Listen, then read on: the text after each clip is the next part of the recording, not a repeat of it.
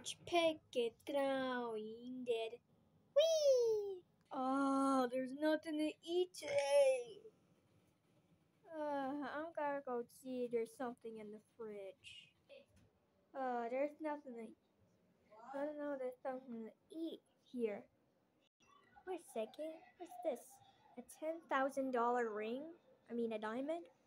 Wow, I'm getting on myself.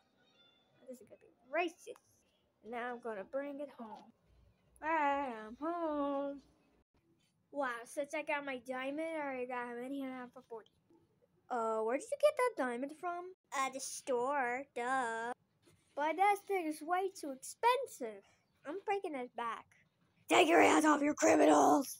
Ah! Stupid criminal face.